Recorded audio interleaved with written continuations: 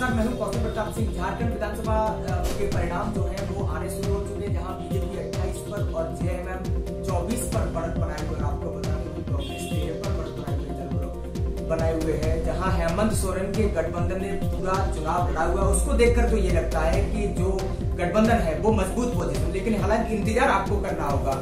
अभी कुछ दिन पहले हमारे संवाददाता कांग्रेस कार्यालय पहुँचे थे, जहाँ पर गुलाम नबी आज़ाद पहुँचे थे। जश्न का माहौल है, जहाँ पर कांग्रेस के लोगों ने ज्वाइंट प्रेस कॉन्फ्रेंस की, जहाँ एक स्टेट में होगी, एक सेंट्रल में होगी। तो कांग्रेस ने तो अपने स्तर से पूरी तैयारी कर ली है।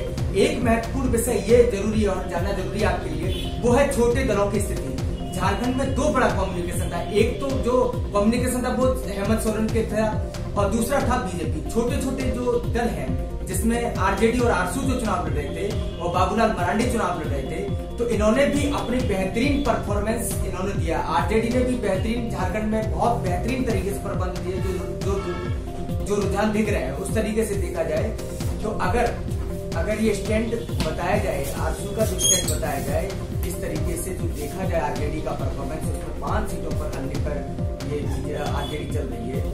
तो झारखंड विधान के जो मायने हैं, वो बड़े मायने आप देख रहे हैं, झारखंड विधान का जो आपके स्क्रीन पर पर, किस तरीके से अब की बार दास से के लिए बहुत बड़ी चुनौतियाँ थी कौन कौन से मुद्दे चुनौती थी